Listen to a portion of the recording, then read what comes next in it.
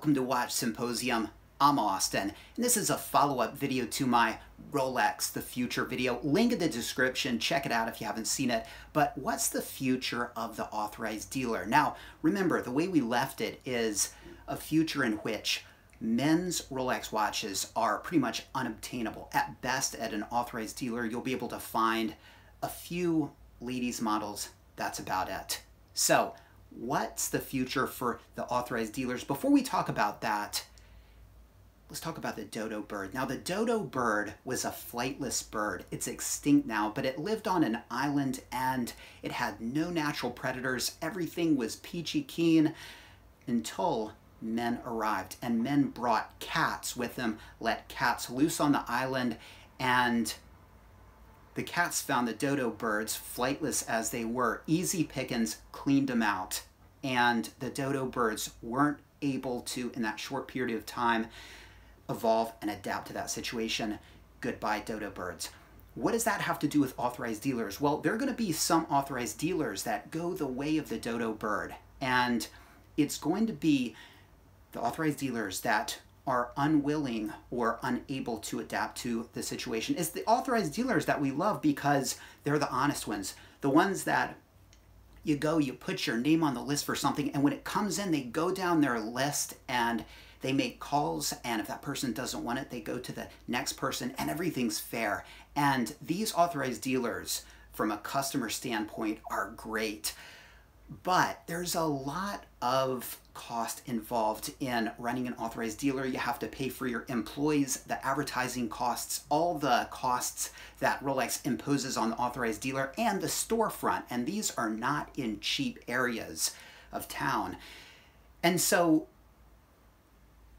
they're not going to be able to just maintain that kind of system because they're not going to have the stock to do it. And when that sub comes in, to be fair about it and just to call the next person on the list, well, it's not really adapting to the situation.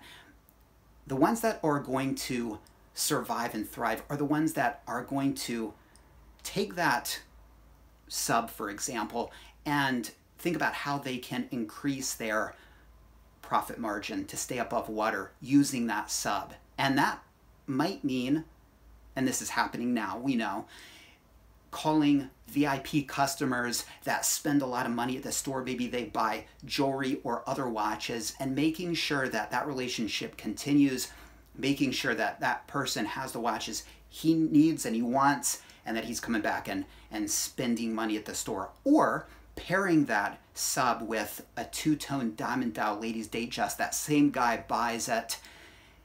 He gives the Datejust to his wife He's okay. He's got the money. It's just the cost of doing business, the cost of getting that sub. He's happy to do it. It's going to cut out the regular guy that is coming in just wanting a sub. Now, I'm not sure how Rolex would feel about this, but it doesn't look to me like that authorized dealer is doing anything to jeopardize their Rolex distributorship. Now, the really adaptive authorized dealers in this retail Rolex ecosystem are going to be the ones that do things below board, things that they probably would lose their distributorship if Rolex were to find out about it. And I'm talking selling pieces out the back door, bundling the hot pieces with the less desirable pieces, and them going straight to the gray market. An authorized dealer like that, from a customer standpoint, I mean, it's just really a front, okay, for the back room dealing. And I think it's naive to assume that this isn't already happening and if court documents are anything to go by, links in the description to a couple pertinent videos that have a lot to do with this, then I think we could safely assume that somewhere in the world this kind of practice is probably taking place. So that's the Rolex authorized dealer ecosystem. You adapt or you go the way of the dodo bird, and adaptation means a transition into what many customers would feel are at best unfair, but perhaps totally corrupt business practices. And this is where we are. It's only going to get worse, and things are only going to get more ugly.